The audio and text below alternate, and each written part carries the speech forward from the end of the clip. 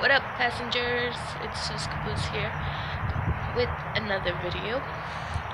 And this video is gonna be a catch up video about what I'm doing right now, what's going on in my life.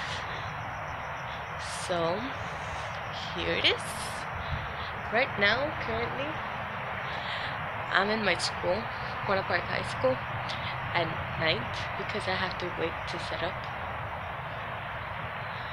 for we have to set up for a commit to graduate graduate assembly for the freshmen since I'm in the um, in the Renaissance group. Um, we do mostly ac academic assemblies and activities and all that stuff for every student to feel feel welcome and show their support and effort on school spirit. And as a result of that would make them feel comfortable to take tests in school and not stressed out and stuff like that.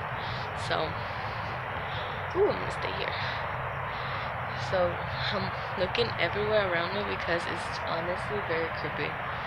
It's kind of scary. It feels like someone's right behind me. I watch way too much horror movies that I get scared. but yeah, I'm waiting to set up and I'm alone.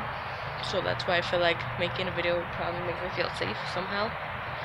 And I need to make a video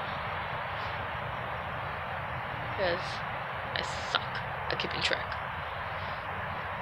So basically, yeah, my Miss Girl should be coming soon, so I decided to make a video just to keep myself feeling safe and to walk around campus because it's cold. I'm freezing. But honestly, it's a little scary and uh, so you can like walk around with no one here and you will look back to all the memories you had here. It's kind of weird. But yeah. Um i should wrap this up because we're sh we should be starting soon. And i don't want to be late because i want i'm trying to go home. It's thursday and it's late. I have homework.